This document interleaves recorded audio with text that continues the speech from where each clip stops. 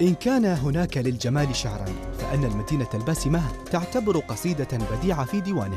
هذه الإمارة التي تمتاز بمزيج رائع بين الماضي والحاضر حيث يتقابل الشرق مع الغرب في تناغم ساحر ويتعانق شموخ الماضي بعبق الحاضر فيضيف الكثير من نكهة الأصالة إلى الإمارة العصرية التي تستقبل زوارها بعبارة مكسوة بالورد.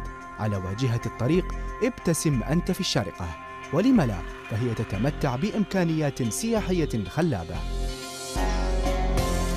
يشعر بروعة التخطيط الراقي الذي جعل منها إمارة تتزين بميادينها التي تشتهر بالنصب التذكارية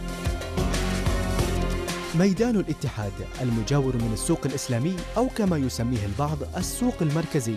واحدا من هذه الميادين الكثيرة يعتبر من أكبر الميادين الموجودة بالشارقة وأبرزها من ناحية الموقع والجمال حيث يقع على مساحة إجمالية قدرها أكثر من 60 ألف متر مربع في منطقة السور التي يحيطها السوق الإسلامي ومسجد الملك فيصل. الجدير بالذكر تم تصميم الميدان بشكل مميز حيث جمع بين الرونق الخاص للميادين العامة والحدائق العامة إذ يتوسط الميدان نصب الاتحاد الذي يحوي سبع صدفات يتوسط كل واحدة منها لؤلؤة ترمز في مجملها إلى الإمارات السبع وتجتمع الصدفات السبع في شكل بديع تلتقي فيه لترتفع على شكل عمود تعلوه لؤلؤة ذهبية ترمز إلى الاتحاد.